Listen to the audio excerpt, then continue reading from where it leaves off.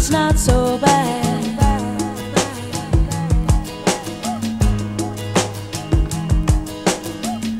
I drank too much last night, got bills to pay.